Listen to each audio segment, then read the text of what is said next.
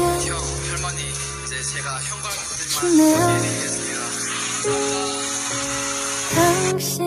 당신의 안에서 살던 때보다 모자람 없이 주신 사랑이 과분 나라는 그 때쯤에 어른이 됐죠 한 손이 꽃을 비우려자 비가 아, 내렸을까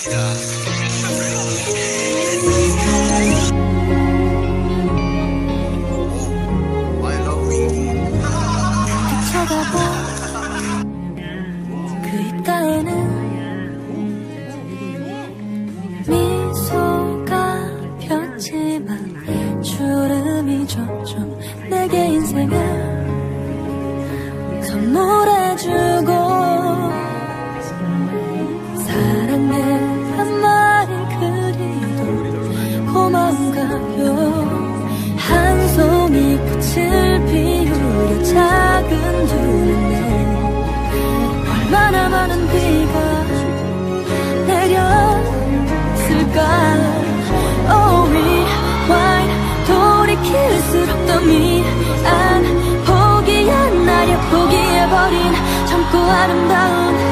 당신의 계절